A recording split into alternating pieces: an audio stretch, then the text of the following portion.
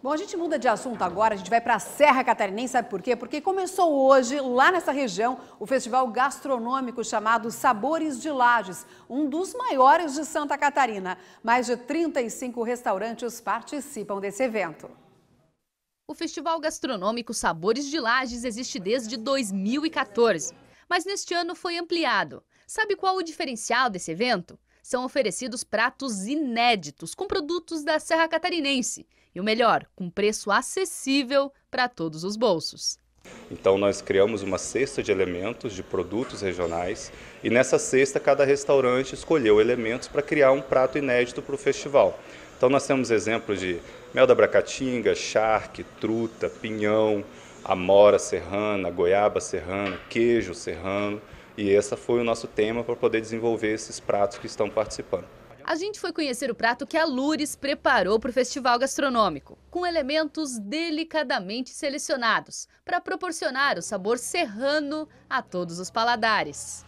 Lures, um dos teus pratos né, faz parte do festival gastronômico aqui de Lages. Como foi a montagem desse cheesecake? Quais foram os produtos que você decidiu usar? Como que isso aconteceu, essa criação? O cheesecake eu já fazia, mas é introduzir o queijo serrano que o objetivo do nosso festival é justamente os produtos da serra.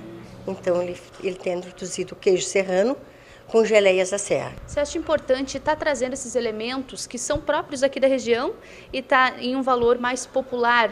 É muito importante. Daí a gente divulga os produtos da nossa região. E os produtores vão ficar mais felizes ainda também porque eles vão ter aonde comercializar o seu produto. Importante. Provar então?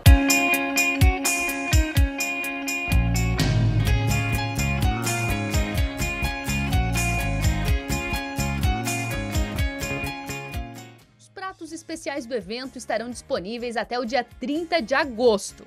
Para conferir os preços e os estabelecimentos participantes, é só acessar o www.festivalsaboresdelages.com.br. Também tem vantagens em quem participar do festival já ganha esse passaporte gastronômico. Aqui dentro você pode colocar os selos dos restaurantes que você visitou. São mais de 35 aqui em Lages para conferir. E quem completar os seis selos ganha esse kit de churrasco personalizado do Festival Gastronômico para poder comemorar, claro, com um churrasco, né, que faz parte da tradição da Serra Catarinense. No dia 2 de setembro, nós vamos ter um encerramento do, do, festival, junto com o Serra Catarina, né, que é o festival de inverno.